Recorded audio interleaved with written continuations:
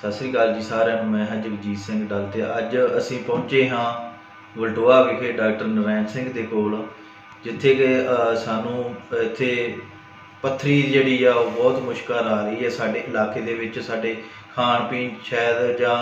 ਕਿਸੇ ਹੋਰ ਕਾਰਨ ਸੋ ਡਾਕਟਰ ਸਾਹਿਬ ਅਸੀਂ ਬਹੁਤੀ ਜਿਹੜੀ ਉਹ ਜਾਣਕਾਰੀ ਨਾਲ ਗੱਲ ਕਰਦੇ ਹਾਂ। ਡਾਕਟਰ ਸਾਹਿਬ ਸਤਿ ਸ੍ਰੀ ਅਕਾਲ। ਸਤਿ ਸ਼੍ਰੀ ਅਕਾਲ ਡਾਕਟਰ ਸਾਹਿਬ ਸਭ ਤੋਂ ਪਹਿਲਾਂ ਆਪਣਾ ਨਾਮ ਸਾਡੇ ਦਰਸ਼ਕਾਂ ਨੂੰ। ਭਾਜੀ ਮੇਰਾ ਨਾਮ ਡਾਕਟਰ ਨਰੈਣ ਸਿੰਘ ਬਲਟੋਏ ਤੋਂ। ਤੇ ਆਪਣਾ ਕਲੀਨਿਕ ਹੈਗਾ ਅਮਰਕੋਟ ਰੋਡ ਦੇ ਉੱਪਰ ਬਲਟੋਏ ਅੱਡੇ ਦੇ ਚੌਂਕ ਦੇ ਵਿੱਚ ਹੀ ਆ। ਤੇ ਡਾਕਟਰ ਸਾਹਿਬ ਜਿਸ ਤਰ੍ਹਾਂ ਪੱਥਰੀ ਦੀ ਅੱਜਕੱਲ ਬਹੁਤ ਜ਼ਿਆਦਾ ਜਿਹੜੀ ਉਹ ਸਮੱਸਿਆ ਇਲਾਕੇ ਦੇ ਵਿੱਚ ਬਣੀ ਹੋਈ ਤੇ ਕੀ ਕਹਿਣਾ ਚਾਹੁੰਦੇ ਉਹਦੇ ਬਾਰੇ ਤੁਸੀਂ? ਭਾਜੀ ਵੇਖੋ ਸਭ ਤੋਂ ਪਹਿਲਾਂ ਆਪਾਂ ਪਥਰੀ ਦੇ ਬਾਰੇ ਗੱਲ ਕਰਦੇ ਹਾਂ। ਪਥਰੀ ਗਲਤ ਖਾਣ ਪੀਣ ਦਾ ਕਰਕੇ ਆਪਣੀਆਂ ਗਲਤ ਆਦਤਾਂ ਦਾ ਕਰਕੇ ਪਾਣੀ ਘੱਟ ਪੀਣ ਦਾ ਕਰਕੇ ਪਥਰੀ ਦੀ ਪ੍ਰੋਬਲਮ ਜਿਹੜੀ ਆ ਰਹੀ ਬਹੁਤ ਜ਼ਿਆਦੀ। ਬਾਕੀ ਹੁਣ ਆਪਣੇ ਲੋਕ ਕਹਿੰਦੇ ਤੇ ਪਥਰੀ ਆ। ਬਟ ਜਿਹੜੀ ਪਥਰੀ ਆ ਉਹ ਵੀ ਗਾਂ ਚਾਰ ਟਾਈਪਸ ਦੀ ਆਉਂਦੀ ਹੈ। ਯੂਰਿਕ ਐਸਿਡ ਵਾਲੀ ਪਥਰੀ ਕੈਲਸ਼ੀਅਮ ਵਾਲੀ ਪੱਥਰੀ ਮਿਕਸਡ ਸਟੋਨ ਤੇ ਸਿਲਟਰੋਵਾਈਟ ਸਟੋਨ ਜਿਹੜੀ ਭਾਜੀ ਕੈਲਸ਼ੀਅਮ ਤੇ ਮਿਕਸਡ ਵਾਲੀ ਸਟੋਨ ਆ ਨਾ, ਇਹ ਤਾਂ ਥੋੜੀ ਖੁਰ ਜਾਂਦੀ ਹੈ ਦਵਾਈ ਦੇ ਨਾਲ। ਜਿਹੜੀਆਂ ਯੂਰਿਕ ਐਸਿਡ ਤੇ ਸਿਲਟਰੋਵਾਈਟ ਆ ਨਾ, ਉਹ ਕਿਸੇ ਤਰ੍ਹਾਂ ਜੜ ਵਾਲੀ ਪੱਥਰੀ ਬਣ ਜਾਂਦੀ ਆ ਤੇ ਉਹਦਾ ਹੋ ਸਕਦਾ ਤੁਹਾਨੂੰ ਕਿਸੇ ਵੇਲੇ ਕੋਈ ਪ੍ਰਸ਼ਨ ਕਰਾਉਣਾ ਪੈ ਸਕੇ। ਜਿਹੜੀਆਂ ਬਾਕੀ ਦੋ ਤਿੰਨ ਤਰ੍ਹਾਂ ਦੀਆਂ ਜਿਹੜੀਆਂ ਪੱਥਰੀਆਂ ਵਾ, ਉਹ ਤੁਹਾਡੇ ਨਾਲ ਨਾਰਮਲ ਹੀ ਦਵਾਈ ਦੇ ਨਾਲ ਖੁਰ ਸਕਦੀਆਂ ਵਾ। ਸੋ ਮੈਂ ਇਸ ਕਰਕੇ ਇਹ ਵੀ ਇੱਕ ਗੱਲ ਕਹੂੰ ਚਾਹੂੰਗਾ ਜਿਹੜੀ ਹੋਮੋਪੈਥੀ ਚੱਲ ਰਹੀ ਹੈ ਇਹ ਬਹੁਤ ਫਾਸਟ ਟਰੈਕ ਹੋਮੋਪੈਥੀ ਚੱਲਦੀ ਆ, ਬਹੁਤ ਜਲਦੀ ਦਵਾਈਆਂ ਖਾਣ ਦੇ ਨਾਲ ਹੀ ਜਿਵੇਂ ਮੰਨ ਲਓ ਆਹ ਦਵਾਈ ਆ ਜਿਵੇਂ ਆਹ ਦਵਾਈਆਂ ਜਿਵੇਂ ਆਹ ਦਵਾਈਆਂ ਇਹਨਾਂ ਨੂੰ ਤੁਸੀਂ ਲੈਣ ਦੇ ਨਾਲ ਹੀ ਪਤਰੀ ਤੋਂ ਨਿਜਾਤ ਪਾ ਸਕਦੇ ਜੀ ਮੌਕੇ ਦੇ ਉੱਤੇ ਐਮਰਜੈਂਸੀ ਜਿਵੇਂ ਲਾਈਕ ਇੰਜੈਕਸ਼ਨ ਆਪਾਂ ਟੀਕਾ ਲਾਉਣੇ ਆ ਉਦਾਂ ਇਹ ਕੰਮ ਕਰਦੀਆਂ ਵਾ। ਤੇ ਪਤਰੀ ਨੂੰ ਬਹੁਤ ਛੇਤੀ ਖੋਰਨ ਦੇ ਵਿੱਚ ਵੀ ਤੁਹਾਡੀ ਬਹੁਤ ਜਲਦੀ ਹੈਲਪ ਕਰਨਗੀਆਂ। ਡਾਕਟਰ ਸਾਹਿਬ, ਜਿੱਦਾਂ ਅੱਜ ਕੱਲ ਕਾਫੀ ਜਿਹੜੇ ਆ ਉਹ ਮਰੀਜ਼ ਤੁਹਾਡੇ ਕੋਲ ਵੀ ਆਉਂਦੇ ਹੋਣਗੇ ਹਸਪੀਟਲਾਂ ਦੇ ਵਿੱਚ ਵੀ ਜਾਂਦੇ ਆ।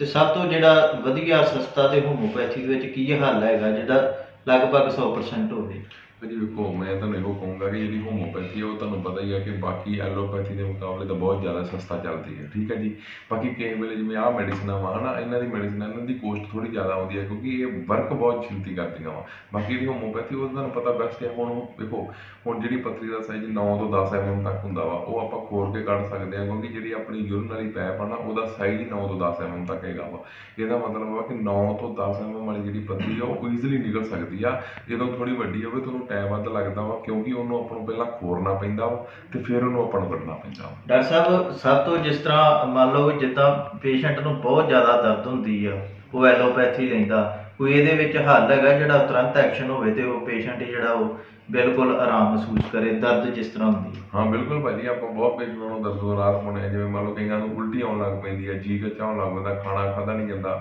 ਆਪਣੇ ਕੋਲ ਪੇਸ਼ੈਂਟ ਆਉਂਦੇ ਆ ਆਪਾਂ ਇੱਥੇ ਬਿਠਾ ਕੇ ਠੀਕ ਕਰਕੇ ਫਿਰ ਉਹਨਾਂ ਨੂੰ ਛੁੱਟੀ ਦੇ ਕੇ ਭੇਜਦੇ ਆ ਕਿ ਹਾਂਜੀ ਭਾਜੀ ਤੁਸੀਂ ਹੁਣ ਕੰਫਰਟੇਬਲ ਮਹਿਸੂਸ ਕਰਦੇ ਦਰਦ ਤਾਂ ਨਹੀਂ ਹੋਣ ਡਈ ਉਹ ਕਹਿੰਦਾ ਕਿ ਨਹੀਂ ਹੁਣ ਮੈਨੂੰ ਦੀ ਮੈਡੀਸਿਨ ਦੇ ਦਿਓ ਮੈਂ ਠੀਕ ਹਾਂ ਮਤਲਬ ਬਹੁਤ ਜਲਦੀ ਅਸਰ ਕਰਨ ਵਾਲੀ ਹੋਮੋਪੈਥੀ ਹੁਣ ਫਾਸਟ ਟਰੈਕ ਹੋਮੋਪੈਥੀ ਜਿਹੜੀ ਉਹ ਵੀ ਅਵੇਲੇਬਲ ਹੈਗੀ ਡਾਕਟਰ ਸਾਹਿਬ ਤੁਹਾਡੇ ਕੋਲ 100 ਮਰੀਜ਼ ਆਉਂਦਾ ਜਿਹੜਾ ਹਾਂਜੀ। ਪੱਥਰੀ ਦਾ। ਤੇ ਤੁਸੀਂ ਜਿਹੜਾ ਕੀ ਦਾਵਾ ਕੀ ਕਰਦੇ ਹੋ, ਕੀ ਤੁਹਾਡੇ ਮਨ ਦੇ ਵਿੱਚ ਹੈਗਾ ਵੀ ਕਿੰਨੇ ਜਿਹੜੇ ਆ 100 ਦੇ ਵਿੱਚੋਂ ਤੁਸੀਂ ਪੇਸ਼ੈਂਟ ਬਿਲਕੁਲ ਠੀਕ ਕਰਕੇ ਭੇਜ ਸਕਦੇ ਹੋ? ਭਾਜੀ, ਆਪਣੇ ਕੋਲ ਜੇ ਮੰਨ ਲਓ ਤੁਸੀਂ ਕਹਿੰਦੇ 100 ਪੇਸ਼ੈਂਟ ਆ ਗਿਆ ਪੱਥਰੀ ਦਾ, ਮੈਂ ਇੱਥੋਂ ਤੱਕ ਕਹਿਣਾ ਵਾਂ ਕਿ ਉਹਦੀ ਪੱਥਰੀ ਜਿਹੜੀ ਆ ਖਿੰਦਰਿਆਂ ਵਾਲੀ ਜਿਹਨੂੰ ਕਹਿ ਦਿੰਦੇ ਪੰਜਾਬੀ ਚ ਜਾਂ ਕਹਿ ਦਿੰਦੇ ਆ ਕਿ ਜਿਹਨੂੰ ਕਹਿੰਦੇ ਸਿੰਗ ਲੱਗੀ ਹੁੰਦੀ ਹੈ ਜਿਵੇਂ। ਹਾਰਨਬੀਨ ਸਿੰਗ ਲਾਈਕ ਪੱਥਰੀ ਜਿਹੜੀ ਆ, ਉਹ ਭਾਵੇਂ ਫਾਜੇ ਕੇਸ ਆ। ਨਹੀਂ ਤੇ ਭਾਜੀ ਬਾਕੀ 99% ਕੇਸ ਸਾਰੇ ਨਿਕਲ ਜਾਂਦੇ ਪੱਥਰੀ ਦੇ ਗੁਰਦੇ ਦੀ ਪੱਥਰੀ ਦਾ ਕੇਸ ਤੇ ਭਾਜੀ ਬਹੁਤ ਜ਼ਿਆਦਾ ਕੰਫਰਟੇਬਲ ਆ ਕਈ ਵੇਲੇ ਆਪਣੇ ਕੋਲ ਪਿੱਤੇ ਦੀ ਪੱਥਰੀ ਦਾ ਹੱਲ ਹੁੰਦਾ ਵਾ ਬਟ ਜੇ ਉਹ ਸਿੰਗਲ ਹੋਵੇ ਤੇ ਜੇ ਉਹ ਚ ਗੁੱਸਾ ਵੱਜ ਜੇ, ਫਿਰ ਭਾਜੀ ਉਹ ਵੀ ਨਹੀਂ ਖੁਰਦੀਆਂ ਹੈਗੀਆਂ ਫਿਰ ਉਹਨੂੰ ਟਾਈਮ ਬਹੁਤ ਜ਼ਿਆਦਾ ਲੱਗ ਜਾਂਦਾ, ਉਹ ਖੁਰਦੀਆਂ ਬਹੁਤ ਘੱਟ ਆ ਚਾਂਸ ਮਤਲਬ ਮੈਂ ਇਹ ਕਹਿਣਾ ਚਾਹੂੰਗਾ ਕਿ ਤੁਸੀਂ ਪਹਿਲਾਂ ਹੋਮੋ ਆਪਰੇਸ਼ਨ ਕਰਾਉਣ ਤੋਂ ਪਹਿਲਾਂ ਜ਼ਰੂਰ ਇੱਕ ਵਾਰੀ ਡਾਕਟਰ ਹੋਮੋਪੈਥਿਕ ਦੀ ਕਿਸੇ ਦੀ ਸਲਾਹ ਲੈ ਕੇ ਤੇ ਉਹਨੂੰ ਆਪਣਾ ਟ੍ਰੀਟਮੈਂਟ ਕਰਾ ਕੇ ਦੇਖੋ ਹੋ ਸਕਦਾ ਤੁਹਾਨੂੰ ਆਪਰੇਸ਼ਨ ਕਰਾਉਣ ਦੀ ਲੋੜ ਨਾ ਪਵੇ ਤੁਹਾਡੀ ਪੱਥਰੀ ਇਦਾਂ ਖੁਰ ਕੇ ਬਾਹਰ ਆ ਜਾਏ। ਡਾਕਟਰ ਸਾਹਿਬ ਕਿੰਨੇ ਐਮਐਮ ਤੱਕ ਜਿਹੜੀ ਆ ਉਹ ਪੱਥਰੀ ਅਹ, ਮਤਲਬ ਨਿਕਲ ਸਕਦੀ ਹੈ ਜਿਹੜੀ ਹੋਮਿਓਪੈਥੀ ਦਵਾਈ ਨਾਲ ਫੁਰ ਸਕਦੀ। ਹੈ ਭਾਜੀ, ਜੇ ਖੁਰਨ ਤੇ ਆ ਜਾਈਏ ਤੇ ਫਿਰ ਤੇ ਭਾਵੇਂ 15 ਐਮ ਤੱਕ ਹੋਵੇ। ਜੇ ਕੈਲਸ਼ੀਅਮ ਤੇ ਮਿਕਸਡ ਸਟੋਨ ਹੋਵੇ, ਉਹ ਤਾਂ ਤੁਹਾਨੂੰ ਮੈਂ ਦੱਸਿਆ ਵਾ ਕਿ ਜਿਵੇਂ 8 ਤੋਂ 9 ਐਮਐਮ ਦੀ ਆਪਣੀ ਪੈਪ ਆ।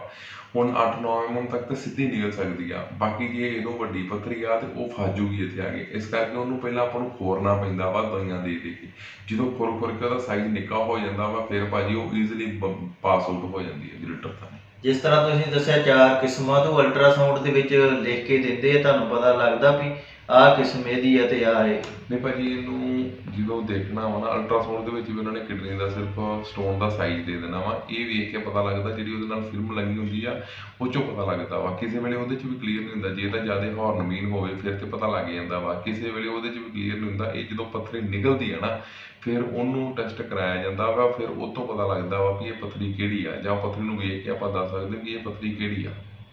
ਵੈਸੇ ਕੋਈ ਅੰਦਾਜ਼ਾ ਨਹੀਂ ਇਹਦਾ। ਵੈਸੇ ਇਹਦਾ ਕੋਈ ਅੰਦਾਜ਼ਾ ਨਹੀਂ ਹੈਗਾ ਭਾਜੀ ਕਿਉਂਕਿ ਪੱਥਰੀ ਜਿਹੜੀ ਹੈ ਕਈ ਵਾਰੀ ਇੰਨੀ ਹਾਰਡ ਹੁੰਦੀ ਆ ਕਿ ਉਹਨੂੰ ਭੋਰਨਾ ਭੋਰਨਾ ਪੈਂਦਾ ਬੜਾ ਜ਼ੋਰ ਲਾ ਕੇ ਤੋੜਨਾ ਪੈਂਦਾ ਤੇ ਕਈ ਪੱਥਰੀ ਹੁੰਦੀ ਉਹਨੂੰ ਫੜ ਕੇ ਤੋੜੀਏ ਉਹ ਕੈਲਸ਼ੀਅਮ ਮਿਕਸਡ ਜਿਹੜੀ ਹੁੰਦੀ ਉਹ ਤਾਂ ਆਰਾਮ ਨਾਲ ਉੱਡ ਜਾਂਦੀ ਹੈ ਬਾਕੀ ਇਹਦਾ ਅੰਦਾਜ਼ਾ ਇਹ ਹੁੰਦਾ ਵੀ ਜਿਹੜੀਆਂ ਦੂਜੀਆਂ ਪੱਥਰੀਆਂ ਹੁੰਦੀਆਂ ਉਹ ਸਬੂਤੀਆਂ ਹੀ ਬਾਹਰ ਆਉਂਦੀਆਂ ਵਾ ਤੇ ਟੁੱਟਦੀਆਂ ਨਹੀਂ ਗੀਆਂ ਸਖਤ ਬਹੁਤ ਹੁੰਦੀਆਂ ਕਿੰਨੇ ਕੁ ਡਾਕਟਰ ਸਾਹਿਬ ਜਿਹੜੇ ਪੇਸ਼ੈਂਟ ਤੁਹਾਡੇ ਕੋਲ ਆਏ ਤੇ ਕਿੰਨੇ ਕੁ ਠੀਕ ਹੋ ਕੇ ਜਿਹੜੇ ਗਏ? ਇਹ ਤਾਂ ਭਾਜੀ ਚਲੋ ਆਪਾਂ 2014 ਤੋਂ ਲੱਗੇ ਹੋਏ ਆ ਕਾਫੀ ਜ਼ਿਆਦਾ ਪੇਸ਼ੈਂਟ ਆਏ ਆ ਭਾਜੀ ਵੇਖੋ ਕਈਆਂ ਦੀਆਂ ਪੱਥਰੀਆਂ ਰਾਹ 'ਚ ਫਸੀਆਂ ਸੀ ਉਹ ਤਾਂ ਆਪਾਂ ਮੰਨ ਲਓ ਅੱਜ ਦਵਾਈ ਦਿੱਤੀ ਤੇ ਭਰ ਕੇ ਪਰਸੋਂ ਤੱਕ ਹੀ ਨਿਕਲ ਗਈਆਂ ਇਹ ਤਾਂ ਬੇਅੰਤੀ ਕੇਸ ਆ ਭਾਜੀ ਜਿਹੜੇ ਆਪਾਂ ਹੱਲ ਕੀਤੇ ਹੋਏ ਆ ਆਪਾਂ ਤੁਹਾਨੂੰ ਮਰੀਜ਼ਾਂ ਦੇ ਨੰਬਰ ਦੇ ਸਕਦੇ ਆ ਉਹਨਾਂ ਨੂੰ ਆਪਾਂ ਮਿਲਾ ਸਕਦੇ ਆ ਉਹਨਾਂ ਦੀ ਇੰਟਰਵਿਊ ਕਰਾ ਸਕਦੇ ਆ ਇਹਦੇ ਤਾਂ ਕੋਈ ਇਸ਼ੂ ਨਹੀਂ ਹੈਗਾ ਭਾਜੀ ਉਹਨਾਂ ਇਹਦੇ ਵਿੱਚ ਮਤਲਬ ਬੇਅੰਤ ਪੇਸ਼ੈਂਟ ਆਏ ਆ ਤੇ ਸਾਰੇ ਠੀਕ ਹੋ ਕੇ ਗਏ ਆ। ਕੋਈ ਕੇਸ ਹੋ ਸਕਦਾ ਵਾ ਜਿਹੜਾ ਕੇਸ ਜਿਵੇਂ ਮੈਂ ਤੁਹਾਨੂੰ ਦੱਸਿਆ ਵਾ ਅੱਗੇ ਵੀ ਜਿਹੜਾ ਹਾਰਨਬੀਨ ਵਾਲਾ ਸਿੰਘ ਜੋ ਸਿੰਘ ਵਾਲੀ ਪੱਥਰੀ ਕਹਿ ਦਿੰਦੇ ਆ ਉਹ ਕੋਈ ਕੇਸ ਜਿਹੜਾ ਵਾ ਨਹੀਂ ਨਿਕਲੀ ਹੋਵੇ ਬਾਕੀ ਤੇ ਭਾਜੀ 99% ਪੱਥਰੀਆਂ ਨਿਕਲੀ ਜਾਂਦੀਆਂ। ਇਹਦੇ ਵਾਸਤੇ ਕੋਈ ਡਾਕਟਰ ਸਾਹਿਬ ਕੋਈ ਬਚਾਅ ਹੈਗਾ ਕਿ ਪੱਥਰੀ ਜਿਹੜੀ ਹੋਵੇ ਨਾ ਕੋਈ ਖਾਣ ਪੀਣ ਦਾ ਆਪਣਾ ਪਰਹੇਜ਼ ਭਾਜੀ ਇਹਦੇ ਵਿੱਚ ਵੇਖੋ ਕਿ ਕਈਆਂ ਨੂੰ ਤੇ ਹੁਣ ਇੱਕੋ ਪਰਿਵਾਰ ਦੇ ਵਿੱਚ ਸਾਰੇ ਜੀ ਆ ਉਹ ਸਿਸਟਮ ਉਹ ਖਾਣਾ ਖਾਂਦੇ ਆ, ਪਰ ਇੱਕ ਜੀ ਨੂੰ ਪੱਥਰੀਆਂ ਹੋਣ ਡਈਆਂ ਇਹਦੇ ਵਿੱਚ ਮੈਂ ਕੋਈ ਜ਼ਿਆਦਾ ਕਹਿਣਾ ਨਹੀਂਗਾ ਬਚਾ ਬਾਕੀ ਤੁਸੀਂ ਪਾਣੀ ਜ਼ਿਆਦਾ ਪੀਓ ਤੇ ਬਾਕੀ ਜ਼ਿਆਦਾ ਮੇਨ ਗੱਲ ਬਚਾ ਭਾਜੀ ਟੈਨਸ਼ਨ ਦਾ ਵਾ, ਜਿਵੇਂ ਲੋਕਾਂ ਨੂੰ ਅੱਜ ਕੱਲ ਚਿੰਤਾ ਬਹੁਤ ਜ਼ਿਆਦੀ ਹੈ ਡਿਪਰੈਸ਼ਨ ਹੋਏ ਪਏ ਆ, ਉਹ ਤੋਂ ਬਚਾ ਕਰਨ ਦੀ ਲੋੜ ਪਊ। ਸੋ ਸਾਡੇ ਨਾਲ ਸੀ ਡਾਕਟਰ ਨਰਾਇਣ ਸਿੰਘ ਜੀ ਹੋਮੋਪੈਥੀ ਵਲਟੋਏ ਤੋਂ, ਜਿਨ੍ਹਾਂ ਨੇ ਸਾਨੂੰ ਬਹੁਤ ਵਧੀਆ ਜਾਣਕਾਰੀ ਦਿੱਤੀ ਕਿ ਜਿਹੜੀਆਂ ਪੱਥਰੀਆਂ ਅੱਜ ਕੱਲ੍ਹ ਹੋ ਰਹੀਆਂ ਐ, ਕਿਉਂ ਹੋ ਰਹੀਆਂ ਤੇ ਇਸ ਦਾ ਹੋਮੋਪੈਥੀ ਦੇ ਵਿੱਚ ਬਹੁਤ ਵਧੀਆ ਇਲਾਜ ਹੈ ਸੋ ਤੁਹਾਨੂੰ ਵੀ ਜੇ ਜਾਂ ਤੁਹਾਡੇ ਪਰਿਵਾਰ ਨੂੰ, ਤੁਹਾਡੇ ਕਿਸੇ ਆਂਢੀ ਗੁਆਂਢੀ ਨੂੰ ਇਸ ਪੱਥਰ ਦੀ ਮੁਸ਼ਕਲ ਆ, ਤੇ ਤੁਸੀਂ ਡਾਕਟਰ ਸਾਹਿਬ ਨਾਲ ਇੱਕ ਨਾਲ ਜਿਹੜਾ ਰਾਬਤਾ ਜ਼ਰੂਰ ਕਰੋ ਤਾਂ ਜੋ ਤੁਸੀਂ ਆਪਰੇਸ਼ਨ ਤੋਂ ਬਚ ਸਕੋ ਤੇ ਇਸ ਪੱਥਰੀ ਤੋਂ ਜਿਹੜੀ ਆ ਉਹ ਨਿਜਾਤ ਪਾ ਸਕੋ।